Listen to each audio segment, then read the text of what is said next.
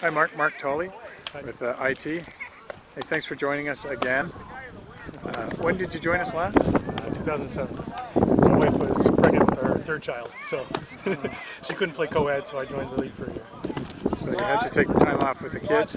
Uh, no, I went back to playing co-ed with her for a few years, but she's she's done baseball, so now I joined men's league instead. All right. Hey, how's your hitting going? Uh, it's, it's coming back. Uh, now playing slow pitch after three pitch for a few years. And how'd you hear about this All Uh, through a friend, uh, Randy Petrie. Oh, yeah, some right. of the other teams. It's actually uh, going to be my brother-in-law. Never draft them. All right. Well, hey, thanks for joining us, Mark. No problem. Good luck tonight. Thanks.